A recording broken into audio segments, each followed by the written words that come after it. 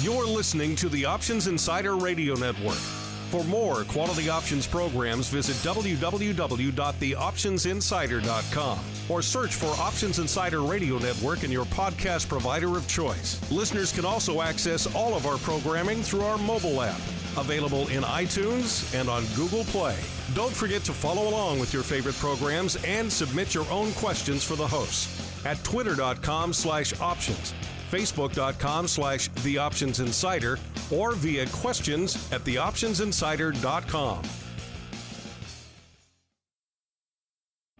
And now, it's time for the show that breaks down the options market. From unusual activity alerts to market updates and trading strategies. If it involves puts and calls, then our all star panel will break it down. It's time to hit the option block with your host, Mark Longo from the OptionsInsider.com and co hosts, Alex the Viceroy Jacobson from optionsXpress, Uncle Mike Tosaw from RCM Asset Management, Andrew the Rock Lobster Giovinazzi, and Mark the Greasy Meatball Sebastian from OptionPit.com.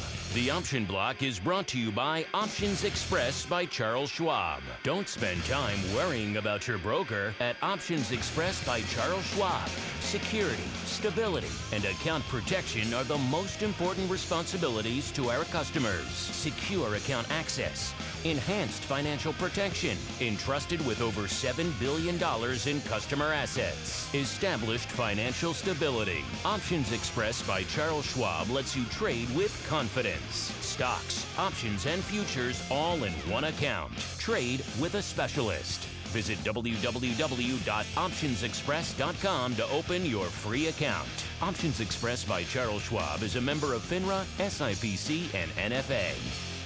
All right, everybody, welcome back to the Option Block. We are, of course, your bi weekly source for all things options related. My name is Mark Longo from the OptionsInsider.com, as well as from the ever expanding, ever exciting, ever insightful, ever compelling Options Insider Radio Network. I'm running out of adjectives to describe the growth of the network, but it is growing like a weed. If you haven't had a chance to check it out, make sure you check out the latest editions, including Options Playbook Radio and everyone's new favorite, Trading Tech Talk.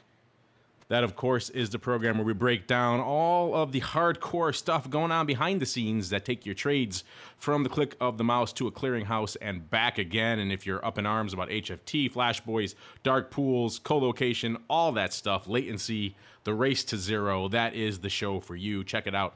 Trading Tech Talk. I think you're going to like it. Who knows? Maybe you'll be educated and perhaps outraged at the same time, which means it's a fun program. And while you're checking those new shows out, make sure you download our brand spanking new mobile app available for iOS, Android, and even for the handful of you who want it, the Amazon Kindle Fire version. You can instantly stream all 300 plus episodes of this fine program, as well as every other program on the network. Download them for offline listening on the subway, on the plane, wherever you like to listen to our fine programs. And of course, you can hit that at symbol, that email button instantly whenever you have questions, comments, feedback, insight. You don't like something Andrew just said, let him know. Hit that at button, bam, fire it off. And we'll, of course, feature it on the program. If it doesn't have any any curse words, we may have to excise those because it is a show for families, of course. All right. And speaking of my fellow co-hosts here on the old All Star panel, I am joined by the usual cast of characters minus one, who's having some dental work done as we speak. And if you know anything about radio listeners, dental work and the radio don't necessarily go hand in hand. It's kind of like nuts and gum, two great tastes that don't exactly go well together. So we're down a man, but none the worse for wear on the program. Starting off, beaming in from the great state of Maine, none other than the Rock Lobster himself, Mr. Andrew Giovinazzi from OptionPit.com. Mr. G, welcome back to the program, sir. Thank you. The lobster is in the house or in the pot, I guess, as as it were. You ready to do double the talking to take the place of Uncle Mike Tosaw today? Um, well, um, I, I I can talk Illinois esque if if necessary. Illinois Illinoisy. Because you know that guy talks the whole show. You can't shut him up. So you really have to do double duty today, Andrew, to fill in for him. and he just keeps talking about Apple, which was up again today. Probably, I think that's a short term high today. Pretty easy story to tell when it's just up, up, and away all day, pretty much. I, that's what he, I think, strives for. Just buy stocks that just go up, and then he doesn't have to really worry about them too much. you know, there are worse plans that I've heard here in the old business. Speaking of the business, we are also joined by a man who's been in all aspects. He's seen it all and done it all, listeners. Uh, none other than the Viceroy himself, Mr. Alex Jacobson, holding down the educational hot seat over there at optionsXpress by Charles Schwab. Mr. Jacobson, welcome back to the program, sir good to be here today, Mark. And I'm, I'm writing down that last piece of wisdom just by stocks that go up. Yeah. Geez, I, I, I haven't figured that out in all these years. That's amazing. But kudos to you. I listened to the uh, Tony Saliba interview uh, over the weekend. And uh, again, probably one of the three to five most famous, most successful market makers in the formative days of the CBOE. I, I know wherever I cut that number off, uh, I, I will get an angry email. By the way, generally from Tony, but but this time I'm including him in it. But, but uh, truly one of the great traders. Truly, uh, for many years, the the the face of the CBOE, especially after the '87 crash. Uh, somewhat of a controversial character, but just a terrific guy and interesting to hear how his current company transacts with almost one out of every three option contracts that that that, that trades today. So again, uh, as an avid listener, I, I would encourage everybody to, go back and listen to last week's interview with Tony. Um, I very much grew up in this business uh, at the same time Tony did, and and there's some great Tony stories that I've always uh, wanted to tell on the air. Uh, unfortunately, when you get these terrific people on, uh, some of the most colorful points of their past they don't want to seem to talk about. So one day we we all need to get a couple cocktails and we'll do stories of some of these great market makers and then uh, optionsXpress will find a new host for the show. After, That'll be your sign off episode, Alex. yeah, that's that's the that's the one after you've taken the pay package and haven't told anybody to to they, they need to host the show. I'll do the the the stories of the guys on the floor, the Salibas, the Dr. J's, the the Blair Hulls, the you know, I could go down the list. But Tony, as pointed out in the first Market Wizards, uh, one of the truly great traders, one of the truly great ambassadors, traveled the world. Uh, he and I went to Asia uh, to uh, promote the CBOE. But um, the you know people always ask the question who created the backspreads and and it, it actually is guys like Tony that did some of their first trading. It, it's sometimes hard to pin down to the person, but an incredible trading story and a story of somebody from really humble beginnings uh, who became very very successful. And, and one of the reasons I like to tell those stories is, you know, every day there's a piece of mail from some newbie who says, I'm starting with a thousand dollars or I'm starting with two thousand dollars. Do I really have a chance? And the answer is yeah, most of these guys started with a thousand or or or two thousand and now are worth I mean I, I mean this literally hundreds of millions of dollars. So great interview. Thank you, Alex. I always love doing those because I know at least I'll have an audience of one, Alex, and I know you'll tune in for all of those sessions we do there. But we had a great time recording all of those uh, down at the big OIC conference a few years ago, a few years ago, a few weeks ago. And there's a lot more coming down the pike, listeners. We just didn't want to overwhelm you guys with content. In fact, my conversation with Tony was so epic and so wide ranging that we had to cut it into two parts. And I've known Tony for years, uh, not as long as you have, Alex, but certainly since the early days of Insider. And it's I'm surprised it's taken as long as it has to finally get him uh, on the network. But it was some interesting stuff going on there, going back to his early days as a market maker, as well as you're right, what they're doing over there at Liquid Point. And if you just look at the number of orders they touch uh, on a given day, that's some serious volume going on over there behind the scenes. I think uh, they said if you look at everything they touch uh, across the industry, they'd be somewhere around the number seven options exchange total. Again, they're not transacting all of that, but still uh, gives you some idea of how much volume is going up behind the scenes on some of these services like Liquid Point. Check it out. That's in our Options Insider radio feed. That's, of course,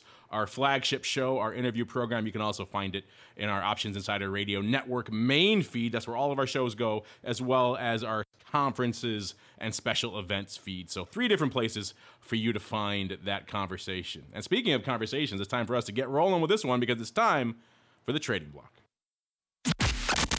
It's time to break down the latest topics, trades, and trends in the world of options. It's time for the trading block.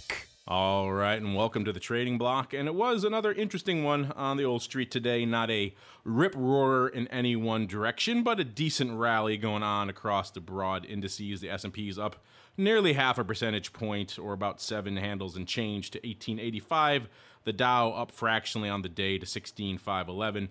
Uh, the Q's up a little bit stronger, up about three quarters of a percentage point, seeing uh, some interesting moves out in NASDAQ yet again today in the VIX cash uh, coming off a little bit, coming off about a tenth of a point to hover in that low 12 handle region yet again, closing today at 12.33. As Mr. Andrew alluded to, Uncle Mike's favorite holding, he couldn't be here today, so we'll do it for him. His, his favorite holding up about one and a quarter percent or about seven handles to 605. Now he was uh, watching, I know, very diligently whether they would break that 600 handle and sustain it. Well, they certainly did so today, closing well above the 600 handle. So now I'm assuming the sky is the limit with all Uncle Mike's Apple holdings.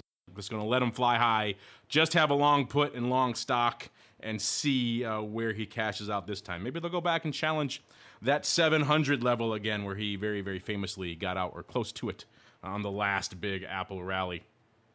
Aside from Apple, Senior G, Senior Rock Lobster, what caught the eye of you and indeed your clients and mentees over there at Option Pit in today's activity? Well, you know, it, it's an interesting day as far as, you know, on a slow news day, what really counts for a rally. Uh, and, you know, I think the biggest news is a VIX, uh, VIX cash after a weekend wasn't all there just wasn't a lot of buy. I mean, we're trading 1233, getting close to the 11 handle again. Um, maybe we'll get that low of the year for volatility. Uh, you know, I just think there wasn't great reasons for stocks to rally. Mostly it feels like kind of a dead cat bounce for most of the names like the Netflix, Priceline, Google. Um, although I think Google's not quite in that category, but a lot of names just sort of bouncing around. Um, not a lot of strength um, from any real one particular area, except you know mostly just like I said, that momentum technology group seemed to do okay. Yeah, a little bit of lift in the financials, uh, but the vol products uh, and vol future premium took another hit today. So you know every day nothing really happens. It really puts a lot of pressure on uh, those products. So you know we're seeing here even after hours now the you know VXX is trading below 36. So there's still pretty good pressure on the vol complex overall. And nobody wants to, we're at this level. I think every day we stay um, probably above 18, uh, say 1875. Uh, we closed above 1885 today in the SPX. That's another day people don't worry about us crashing. Um, you know, we've got bonds kind of rallying, but only because rates are going to stay low for a while because growth is kind of slow. So again, it's not enough to give us those crazy rallies we had in uh, 2013, um, uh, but it's enough to you know kind of make the market plot along and and have volatility eh, just kind of go nowhere. And everybody's kind of been head faked around the vol we've had, you know, at least in 2014 It, you know, it starts to pop for about five seconds and then the air gets right out of the balloon again. And I think we're just seeing more of the same of that um, lately. You know, we touch on this a lot, obviously, on our volatility views program. I know you couldn't join us this past week, Andrew, we had an interesting discussion about all that kind of stuff, and in particular, that persistent drumbeat we're seeing out in the broad financial media about how the long-term average of the VIX is 20. So this thing's mean reverting; it's got to revert back, and it's got to do it aggressively. Uh, so load up now. A lot of that being driven by the CBOE itself, who keeps propagating that long-term average number of 20 out there. Uh, I think partly to, to keep the the investor sentiment that this thing has to move and maybe there's a move coming uh, down the road. But I think, like a lot of our guests on that show have said, and we've said many times on that show as well, it is quite possible just to languish here for an extended period of time. You know, people have this I think, mistaken impression that because volatility is mean reverting, it's got to do it now and it's got to do it aggressively. And so you better get in on your VIX upside now. Uh, whereas we could easily languish in this. I hate to even call it a malaise, because to me this is this is kind of normal territory for VIX around here. Uh, yep. So I, I, don't buy into this long term 20 thought. Maybe call me old school SPX or whatever the case may be. But uh, this to me is normal. so uh, we could easily be around here for a long time. And it seems like the persistent drumbeat seems to be no, no, it's got to go up, it's got to go up, and it's got to go up now. A lot of the paper we're seeing starting to reflect that. VIX getting even more call heavy than it ever has been course, part of that could also be due to the fact that we're so low in the strike spectrum. There just aren't many put strikes left to choose from. So that could also, some of the mechanics could be playing into that number as well. But still, this persistent drumbeat of it's got to revert and it's got to revert back to the 20 handle uh, is starting to bother me because it, we could easily be here for quite some time. And listeners, if you're one of those people out now right now who's running out to gobble up VXX because it's going to revert, I think you may be regretting that decision in a month or two from now. Yeah, you, are seeing, uh, you know, it's a blog that I'm going to write today. Is you're starting to see a little stretch on the short-term volatility getting real low, and the longer-term volatility starting to head upward. Uh, you know, the curve kind of steepening a little bit as we kind of stay down here. So it's just people buying volatility long-term are going to pay big, big, big dollars for it uh, relative. So eh, you know, it, it, it, I mean, when we were in the SPX, I think 13 volatility used to be a great sale. Um, I think long-term capital management before they blew out sold, you know, a couple hundred million Vega at 13. yeah, ask them how how quickly volatility mean reverts. Exactly. Um, so, you know, that was just a small little bond scare with the emerging markets back then that everybody ran for the hills, but it's tough when you're uh, it's tough when you have all those things sort of going wrong at the same time. It's not not so much fun. Um, and but that's where we are. Like we could the problem with VIX is it doesn't get too far below 20. Um, but when it goes above 20, it goes above a long way. So it tends to kind of skew the result a little bit, uh, you know, to that uh, upside. But we could sit down here for quite a while. Um, and this is how volatility lows are made. I think this is what uh, Alex and I thought would happen this year. We thought it would happen sooner uh, because of sort of all the market giddiness and euphoria and stuff like that. But you know, we had a couple of monkey wrenches in it. But is this is this bullish overall when vol stays cheap like this? You know, people start selling puts, and people sell puts because they don't think the market's going to go down, and that that dampens volatility down a bunch, gets people, um, you know, and at, at some point, you know, more and more people jump on that bandwagon, and it will get ugly one day. Um, but for right now, I don't think we're uh, we're not quite there yet. Mr. Alex, what caught your eye in today's activity over there in the land known as OX by Charles Schwab? Well, it's it's it's going to sound pretty ordinary, but uh, today was Apple, AT and T, Directv. Um, when I surveyed the desk, I mean, Facebook has become uh, the new kind of Lulu here. I know I keep saying that, and that's uh, that's keeping the desk busy. But today was one of those all Apple days.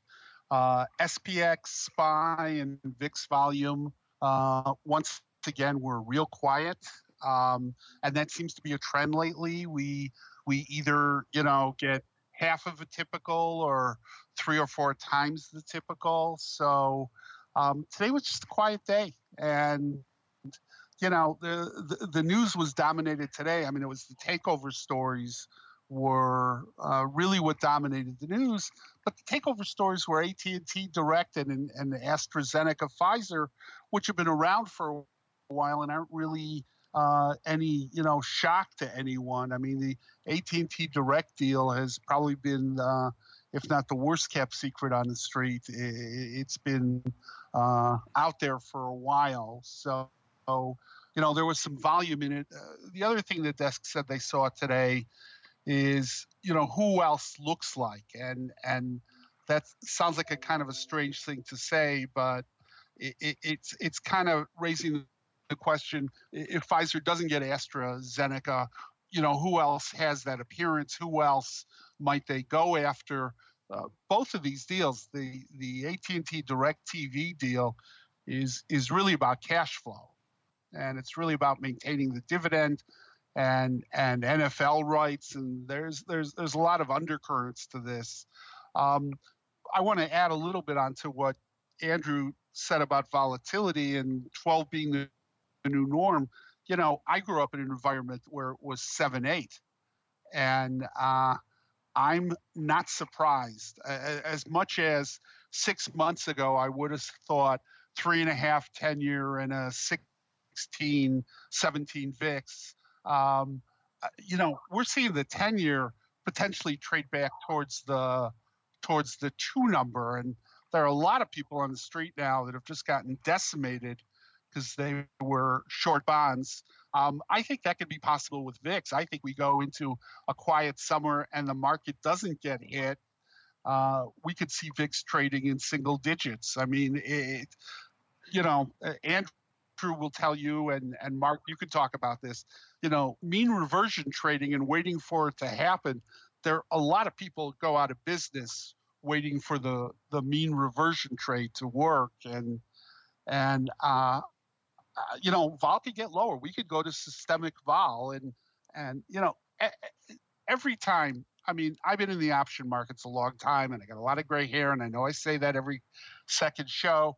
Every time somebody tells me they figured out implied vol and they've really got it within a month or two, uh, they get a career change.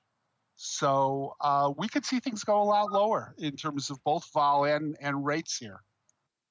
Yeah, my nightmare scenario for a lot of the listeners of this show would be they look at the VIX, they think it's really low, they start buying into this mantra that the long term average of the VIX is 20 and that volatility is aggressively mean reverting, so they have to get in now. And then, of course, they pile in to one of these products that we've frequently maligned on the show, like VXX. And like Andrew just mentioned, they're starting to bid up the far end of that futures term structure so that roll yield is getting even more in your face on a product like that. And they're going to buy and hold that for the next month or two. And then they're going to be surprised at why, why did that not perform for them. So, listeners, if you're considering doing that now, let me please just warn you off of that. Do not take that approach unless you expect VIX to pop tomorrow or in the next couple of days. Other than that, even a couple of days is too long of a holding period for VXX. One one day in and out, that's it. So if you're trading VXX, maybe start thinking about some of the other strategies we've illuminated on this show many times in the past. Speaking of illuminating some strategies or perhaps lack thereof, it's time for us to move on into our next segment, the odd block.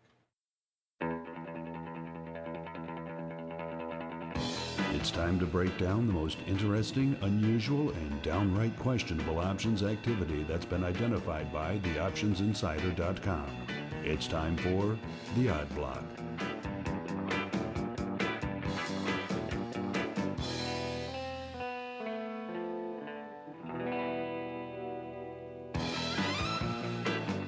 All right, everybody, that funky tune means it's time once again for the old odd block. This is, of course, the portion of the show where we tell you what we've been watching today, what's caught our eye from an unusual activity in the options market perspective. Going to kick things off with a, an odd block, typical type of name. This is Oncothyreon Inc. I'm hoping I pronounced that right. Ticker symbol O N T Y. Good old Auntie closing today $2.80 up about 11 cents and change. Uh, this is indeed one of our sub $3 biotechs that we love to profile here on the show because they are so popular with the unusual activity traders. This is a name that does about 500 contracts a day lighten up the tape to the tune of a whopping 1300 so about almost two and a half x on today's adv and what we saw in particular surprise surprise was some upside call buyers in a small cheapy biotech to the tune of when we profiled it, about 600 of the Dees, looking a little bit farther out this time. The Dees 3s uh, going up 600 times for prices around 50 to 55 cents, all going up in small blocks, most of them lifting, lifting the offer, not surprising because this is a relatively illiquid name. Uh, they've lifted the offer 50 cents, then chased some more, got 55s after that. Looks like an opening buy because there isn't a heck of a lot of open interest on that strike. We also did see about 300 of the Dees 4s uh, going up as well. That went up after we profiled the Dees 3 action. So that went up 350 times for a total of about a thousand contracts between the two trades. Senior Giovinazzi, do you feel this is related? This is perhaps legging into an indecisive Tosaw esque stupid? that would just be the, the two stupid broke me up there for a second. you know, we do have a history when one of the co-hosts is not on the show, we bag on him. Just a just a little bit. Alex, you, you cannot believe the things we said about you when you were gone, weren't here last week. yes, don't go back and listen to the shows from last week, Alex. Yes, whatever you do, Alex, don't listen. Anyway, um, there's two guys in San Francisco that look like Gene Hackman in the conversation, who listen to every minute of every show, and then I get uh, uh, lengthy emails threatening my life um, so it's become a way of life. I don't I don't envy those fellows their position. that is that is funny actually. Oh oh oh that's the uh, oh yeah I forgot that you're compliance guys. oh dear oh dear. Uh, anyway, ONTY. I'm going to say um, I don't know if they're really related. Um, one looks kind of buy righty, the other one looks like a little more speculative purchase. Um, uh, the threes look like just kind of a buyer trying to step up and buy some contracts. I don't think anything super, except that you know it's it's a name with you know way too many consonants in it. It's a biotech, and um, they're in the business of biotechnology. It's one of my favorites. Uh, they don't really make any money. They don't have a product yet, but they're in the business of, you know, and then all of a sudden the stock goes to 40 bucks, and that's kind of what this trade feels like. It's a somebody's just trying to go for the lotto ticket on a name that has a promising therapy, which, of course, for all the rest of us who might get cancer, we hope that they cure everything. Yes, these names are in the business of generating upside call paper, pretty much. That's their business. exactly. I think they're all uh, secretly funded by the exchanges just to just to keep them in business. Just to keep upside calls going. um, so yes, uh, you know, not, uh, but always always like to see another biotech name. Um, I used to, I've traded a lot of these things over the years, and they are fun. Um, this one looks a lot like most of them, where it's just kind of trying to get it going here, and we'll we'll see what happens. Not very expensive call, so my guess would be probably not any kind of uh, like an FDA news or anything out like that between now and December, which is a pretty long time for a biotech company not to have any activity. Yeah, that's the one thing that struck me the most about this paper is usually you see it's got to happen right now, it's got to go up right now because the FDA is coming out tomorrow. You don't usually see someone lining up for the end of the year. Yeah.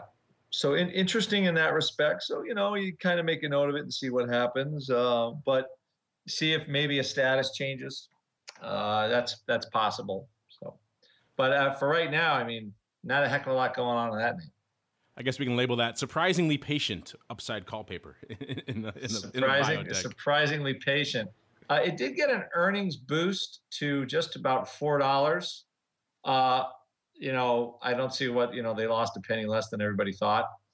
Um, but the volatility has stayed at 86 for six straight months. That'll just give you an idea of how not very active this particular name is and how little they have on the FDA horizon at least until maybe this call buyer uh, figures it out. Or indeed until the filing that he knows about and no one else does becomes official. There we go. Yes. All right. Next up on the old odd block, we have another newcomer. If $3 or so was a little bit too cheap, but you don't want to go too crazy, too far up the food chain, we got another name for you. This is Gastar Exploration Inc.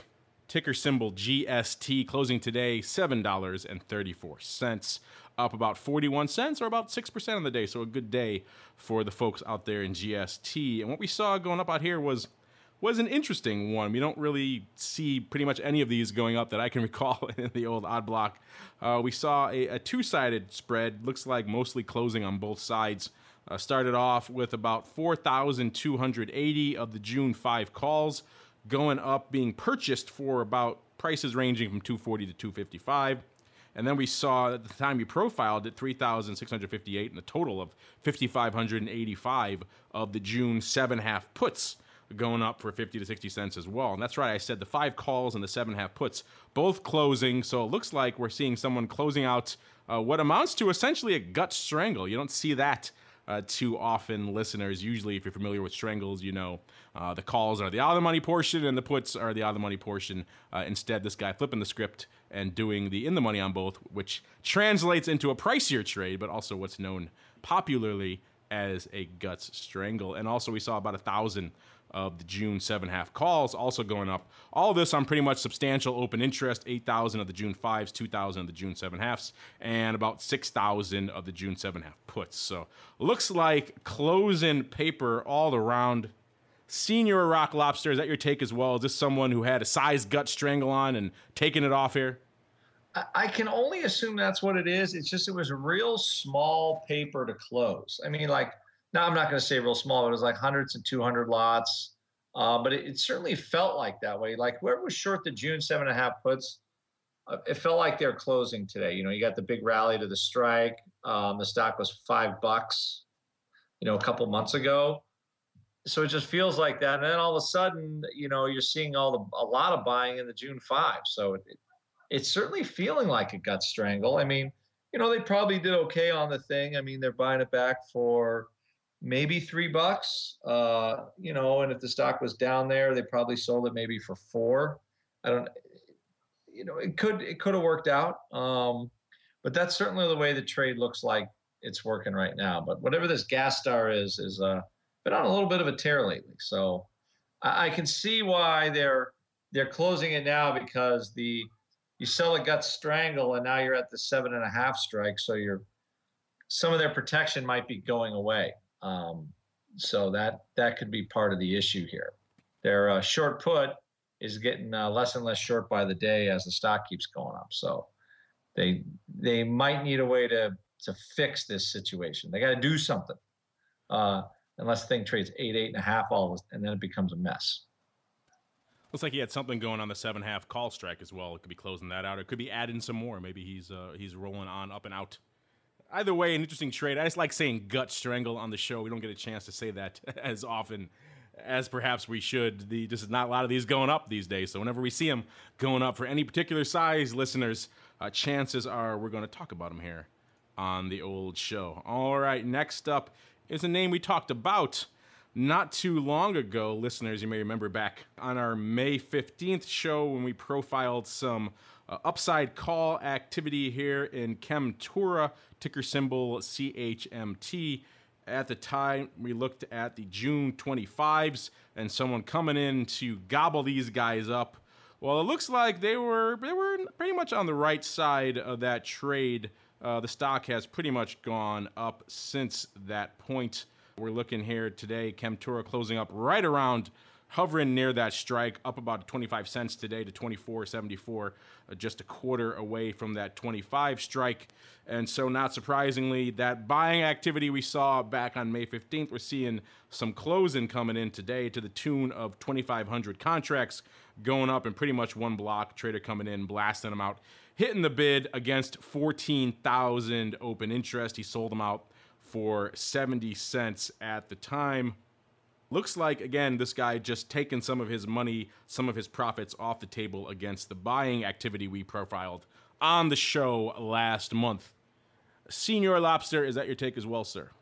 I, I concur. I think he's just, he made, uh, basically made a double on the calls, and uh, the stock hasn't done a whole bunch since uh, last week. And, you know, his calls are kind of melting away. He's like, I better, I better take the money while I can which sometimes you don't have the chance anymore because the stock pulls back and your long calls, and then the whole thing just kind of falls apart. So I think this is just part of that 14,000 contract open interest just hitting the highway.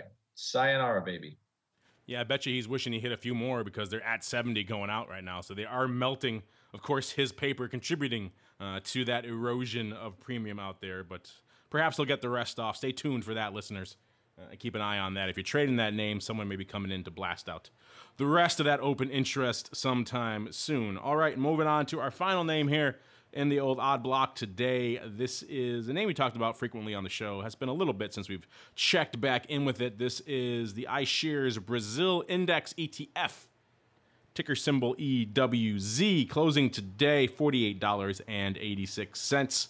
Uh, this is the name that does, oh, about 100,000 contracts a day. So, from an odd block perspective, it is blowing the doors off pretty much all the other names that we talk about, doing about that same level today. So, it wasn't so much the size of the paper uh, that we saw going up today as it was what was actually going up uh, that caught our interest. In particular, we've hi- highlighted a few call rolls on the odd block recently. This is another one of those.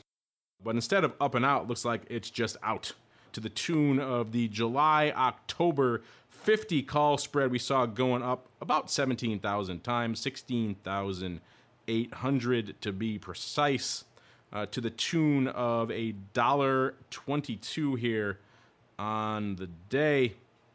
And again, the open interest in July about 12,000 and 50,000 in the October. Went up in two blocks, as you might imagine, uh, marked as spread, as we typically see with this kind of stuff. Again, looks like opening paper in October, closing in July. Someone taking his position here on the Brazil index and saying, I still like it. I still like this level. Just give me a little bit more time. So rolling on out to October. Not even going up a little bit, staying right on that 50 handle. Senior Rock Lobster, take us home. What's your take on this relatively standard, if sizable, call roll here in EWZ? Yeah, I, I think they're just trying to get a. It feels like they want to get a little long. Uh, maybe the EWZ has a hard time really getting through 50 by the middle of summer, uh, and they want to sort of pick up uh, again. But a little long time spread like this is, to me, just kind of a way to get long without having to spend a lot of money to do it. Uh, and that's that's what they're I think that's what the trader wants. It looks like opening, opening. It would be a strange to buy that spread to close it back as we're uh, nearing the strike. So I don't know exactly if they, you know, if it was a sell to close, it's like when do they do it? Um, so it, that doesn't really make any sense to me. So it's it's more just a good old fashioned. We'll get a little long, we'll collect a little decay, and we'll see if this Brazilian index can really go up another, you know, two three percent. Indeed. All right, listeners, that is going to do it. If you'd like to play along on the home game, a lot of great ways for you to do that. You can, of course, surf on over to the optionsinsider.com, click on the unusual activity tab there, see all the alerts we didn't have time to get to on the show today, as well as much more detail on these particular alerts, any updates that may have occurred throughout the day, and a lot of other interesting stuff while you're over there. Meanwhile, we're going to keep on rolling with the program right on into our next segment, the Xpress Block. The Xpress Block. Brought to you by optionsXpress by Charles Schwab. optionsXpress by Charles Schwab lets you trade where and when you want for every level of trading. From advanced charting, free daily trading ideas, and free educational resources. optionsXpress by Charles Schwab is the online broker for all traders. Best of all, optionsXpress by Charles Schwab lets you trade stocks, options, and futures all in a single account on powerful yet easy use trading platforms, including mobile devices. Visit optionsxpress.com for your free account. optionsXpress by Charles Schwab is a member of FINRA, SIPC, and NFA. All right, everybody, welcome to the Xpress Block. This is, of course, the portion of the show where the Viceroy takes us on a behind the scenes VIP tour into the land known as optionsXpress by Charles Schwab. And this has actually been an interesting time to see what's been going on out there because there have been quite a few headlines uh, coming out of you guys over there at Schwab of late. One in particular caught my eye, Alex, and I think this is really interesting stuff, definitely worthy uh, of discussing here on the program.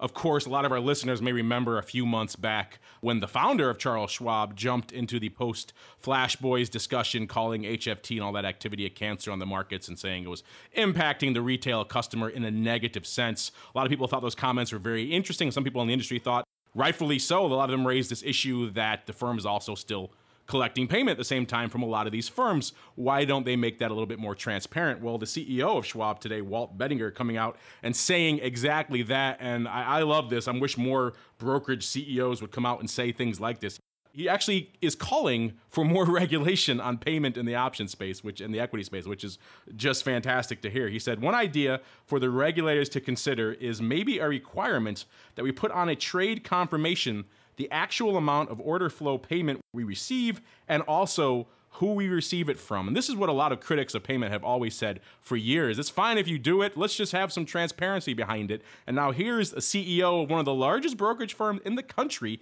essentially saying to the regulators, please make us do this. And this to me, I hope this happens. I hope Schwab really takes the lead on this because I would love to see every trade ticket. Here's exactly how much payment we collected from this. Here's who paid it to us. Uh, and that would be fantastic. You can outline here's what we use some of that payment for. Here's maybe what your commission would have been without the payment, et cetera, et cetera. You can really make it all completely transparent to the end user. So they then have a clear and open choice. Here's where I want to go. Here's where I want to execute. Here's exactly how much that execution cost me. Here's where that decision came from. I think this is fantastic.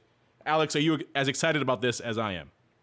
Yeah, I, I, I think transparency is everything. And I think part of what the industry is going through now, and part of what the industry went through in 2000 with the real establishment of electronic trading uh, was the beginning of the transparency that I think a customer is entitled to. And I'm even going to go out on a limb and and uh, say, having worked at two exchanges and, and and the first all electronic options exchange, being on the founding team there, uh, when the rule about disclosure was created, there is a rule now that every quarter, every brokerage house has to file. I forget if it's a 660 or 606 form, but the thing is not transparent and it's somewhat opaque. And what that form shows is this is essentially the the wholesalers or the out order routers we sent our order routing to, and these are the typical forms of payment or compensation we may have received. The, the problem with reporting it quarterly and reporting it in the aggregate, to, to your point, Mark, is it's still somewhat opaque. Uh, payment's a big part of this industry. Uh, it's a big part of the stock industry. Um, we're not going to solve the issue of like it, don't like it uh, on this call, but I think transparency is everything. And and as I say, having worked most of my career at the two of the biggest options exchanges, one of the things that was foremost was transparency. And the lack of transparency is troubling. So, uh, number one, I think Walt's comments don't go far enough. But here's the other side to it it's going to be a hard thing to do on a ticket by ticket basis and and still deliver the information on a on a timely basis but I, I think that's something the industry should shoot for in the early days of optionsXpress, when, when we started the ISE, one of the first firms to embrace us was optionsXpress because they had an all electronic, uh, customer driven, customer centric model. And if you think about this, when I left the CBOE in 2000 to go to the ISE, if you wanted to trade an option contract at Charles Schwab, it was 20 nine ninety five and two fifty a contract. Now I, I, know customers are grabbing their chest right now, going, "What? Twenty nine ninety five and two fifty uh, a contract." Twenty years before, when I worked at Merrill Lynch, it was fourteen to fifteen dollars a contract, and I know people are going to listen to this and say, "No, no, no, he's talking about a hundred lot." No, I'm not. I'm talking about a contract.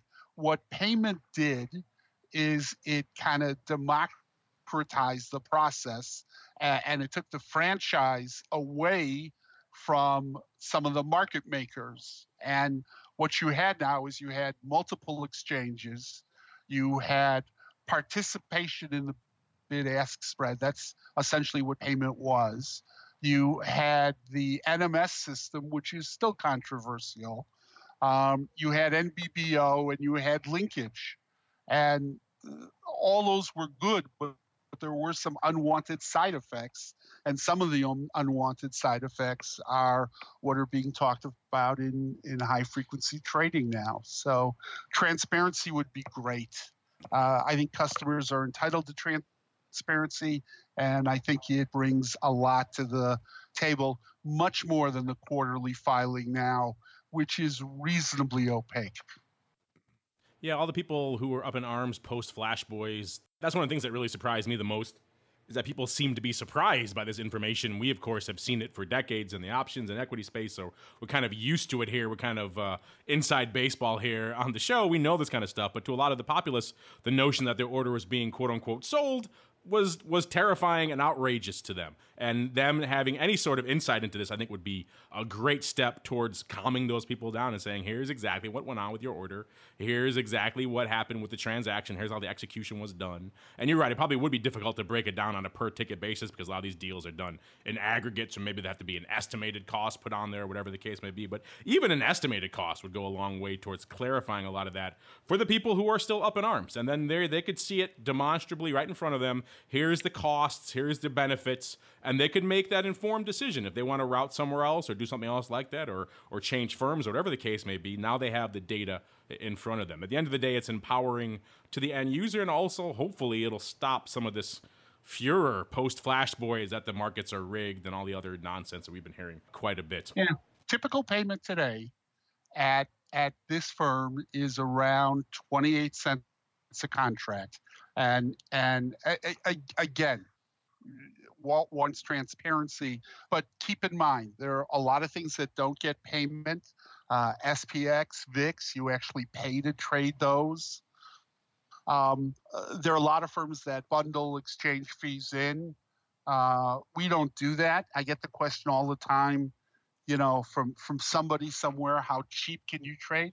You can trade cheap if you bundle in the the rebates uh, I'm sorry, if you if you bring out the rebates and exchange fees, um, there are lots of firms on the street that have people trading at 50 and 60 cents a contract and limiting what they can do in the monopoly products in the SPX and, and the VIX where there are no rebates and, and there are fees. I'm a firm believer that in 2000, when the ISE was started, one of the biggest mistakes the, the, the CBOE made. And every time I talk about the CBOE, I, I do in fact get feedback. But I think one of the biggest mistakes that the CBOE made was to eliminate exchange fees, was to make trading free. And I think if the exchanges had that one to go back and do over, uh, they would. And since it wouldn't be the Xpress block, this has all been very cheerful, Alex. We need to throw a little cold water on some of our listeners here as well. It wouldn't be the Xpress block if we didn't do a little bit of that as well. And I know there were some interesting developments. We were talking earlier in the show about people trading VXX on this show, perhaps uh, rightfully or wrongfully. But there have been some interesting developments out there with some of these VIX ETPs, in particular from a margin perspective. Why don't you walk us through those developments really quick and how they may impact some of the listeners of this show who like to trade those products? So FINRA last week released a list of ETNs, exchange traded notes, and, they aren't just the volatility products, although uh, many people are focusing on the volatility products. It's also products like the OIL, the, the, the oil ETN. Difference between exchange traded notes and exchange traded funds. Exchange traded funds are exchange listed products that actually hold a trust of the underlying instruments. Notes are obligations of the issuer. And what FINRA has said is exchange traded notes and the derivatives on exchange traded notes will no longer be subject to customer portfolio margin, which means they're going to have to be margined at a hundred percent. Now, keep in mind, this isn't commentary on are they good or bad investments because everybody I've talked to today is taking it as commentary on uh, I shouldn't trade those for some reason. That's not what they're saying. They're saying the way ETNs are structured, extending credit on them is something that FINRA thinks is inappropriate. And as soon as FINRA thinks it's inappropriate, OCC says it's inappropriate. It goes into the the portfolio margin calculation. This will be phased in over the next 10 days. Uh, some of the instruments it will impact today, the volatility instruments and and and oil are uh, eight or ten days down the road. But let me emphasize again: this this isn't commentary on the are they good or bad investments. It's more commentary on the ETN structure, and ETNs will no longer be eligible to trade in portfolio margin accounts. If I had more time, and, and of course, as soon as I say that, they also talked about some of the futures that are used in portfolio margining. And I know last week we talked about interesting questions from social. And one of the questions that comes up all the time are can futures be covered by SIPC? And of course, everybody says no, can't be done, impossible. It's not true. A futures contract identified as part of a portfolio margin hedge is covered by SIPC. However, uh, FINRA killed most of those today. Uh, they didn't kill the SPX or the NASDAQ or the Russell. They killed some of the more arcane indexes, things like the XAU. Um, if you have questions, go to FINRA or OCC site or call us here, talk to the trading desk. If you're not a customer here, you should be a customer here. Talk to your broker. All right, good stuff, Alex. It wouldn't be an Xpress block if we didn't throw some cold water on some product or other. So there we go, listeners. if you're planning on trading those, may want to take a second look at how they're impacting the margin and the available capital in your account. All right, and now it's time for us to keep on rolling into our final segment, Around the Block.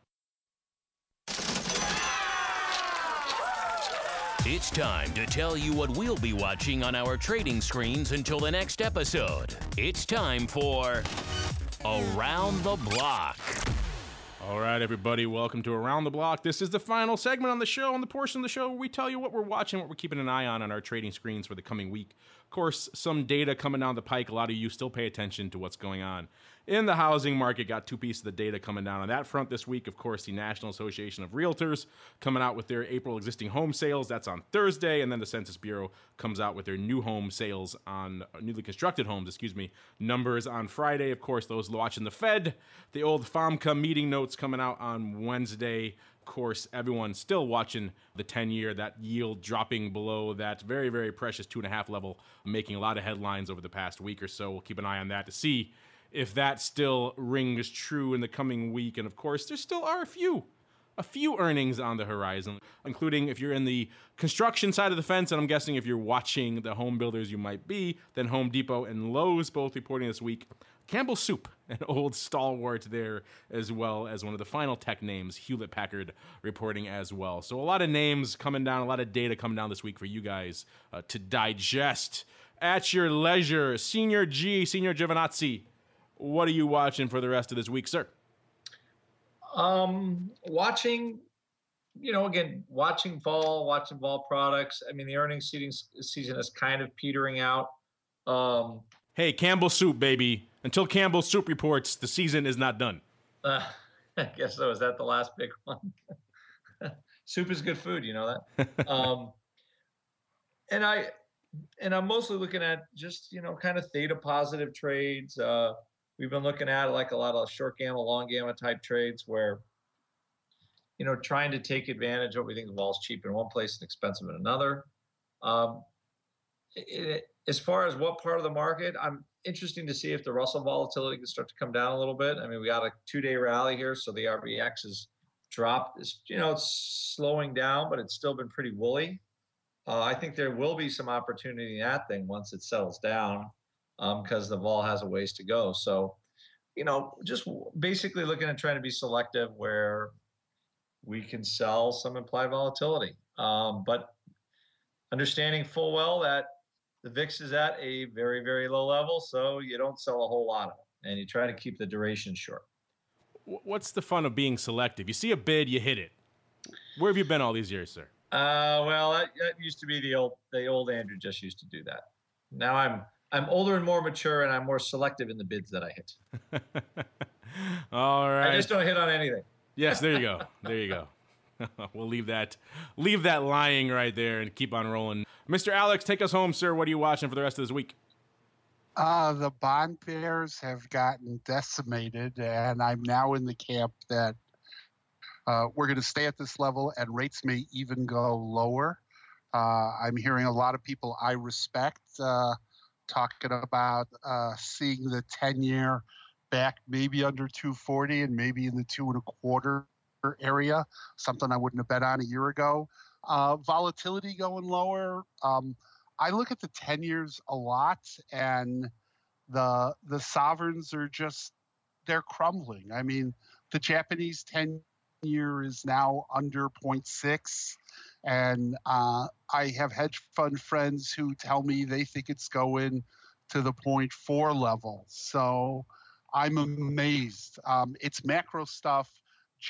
Geopolitical has become irrelevant. Crimea didn't turn into what anyone had expected. Um, we'll start to see what comes out of Washington, uh, but they're going to go away for the summer, so they, they uh, will be able to do less damage than usual.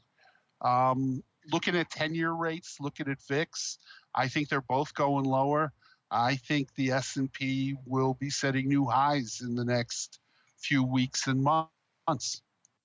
All right, and that's going to do it for the Around the Block segment. It's also going to do it for this episode of the Option Block. But before we go, as always, let me check in with each of my cohorts, my partners in crime, to see what they have cooking, what's coming down the pike from them that may interest you, uh, the listener. He couldn't make it on the show today, but be sure to check out our friends over there at RCM and all of their various endeavors RCM Wealth Advisors, RCM Futures, you name the asset class, uh, they have something over there. Check out the old RCM main website and then click on the subcategory that interests you the most. They have a lot of good stuff there, including all those webinars that Uncle Mike is talking about, always archived and available for you up there at RCM com. All right, and take it away, Mr. Alex, Mr. Viceroy. What's coming down the pike over there at OX Education? So, one live event left in the month of May, May 31st. Saturday, Jimmy Rouzan and his crew will be live in Philadelphia. Uh, if you don't want to make it to the live event or you can't make it to Philadelphia, all the live events are now done in a virtual form uh, on the website, optionsxpress.com, and you can uh, sit home with your slippers and cavalier on your lap and enjoy the event and participate fully. Uh, Wednesday, three three webinars I'll talk about Wednesday. By the way, Wednesday is also VIX expiration for those of you who will hear this tomorrow if it's still during market hours. I know every time there's a VIX expiration, somebody gets the date wrong, but three webinars tomorrow, Wednesday, uh, on Wednesday. Uh, Nina will be doing a platform and site tour. Mike Zaremski will be doing his new customer event for futures traders. And I just want to point out if you're my age, the CME has relisted the cash butter product.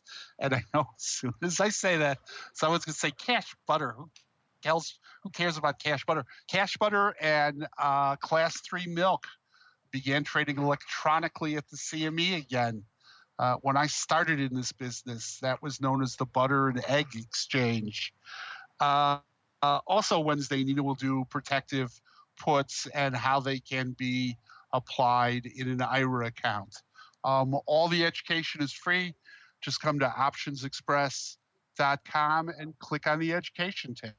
All right, and on behalf of the Viceroy and the Rock Lobster, and even Uncle Mike, who couldn't make it today, and of course myself, I want to thank all of you out there in the listening audience for downloading and streaming and subscribing to the program, and for sending in such great questions. Keep them coming. We, of course, will answer those in the next episode.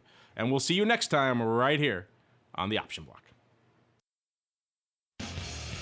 The Option Block was brought to you by optionsXpress by Charles Schwab. Don't spend time worrying about your broker at optionsXpress by Charles Schwab. Security, stability, and account protection are the most important responsibilities to our customers. Secure account access enhanced financial protection, entrusted with over $7 billion in customer assets, established financial stability. optionsXpress by Charles Schwab lets you trade with confidence. Stocks, options, and futures all in one account. Trade with a specialist. Visit www.optionsxpress.com to open your free account. optionsXpress by Charles Schwab is a member of FINRA, SIPC, and NFA. The preceding program was a production of the Options Insider Radio Network. For more quality options programs, visit www.theoptionsinsider.com or search for Options Insider Radio Network in your podcast provider of choice. Listeners can also access all of our programming through our mobile app, available in iTunes and on Google Play. Don't forget to follow along with your favorite programs and submit your own questions for the hosts at twitter.com slash options, facebook.com slash the Options Insider, or via questions at theoptionsinsider.com.